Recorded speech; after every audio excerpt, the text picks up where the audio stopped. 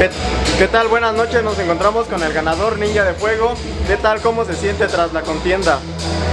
Mira, antes que nada, gracias a ustedes por asistir, ver este gran bonito deporte y hoy, hoy me tocó la buena suerte de ganar a un gran luchador, a un gran luchador que Shadow y espero que esta cabellera me dé grandes satisfacciones porque de eso estoy seguro también a mis compañeros, todo lo de la ruleta, que se esforzaron y dieron lo mejor que sí.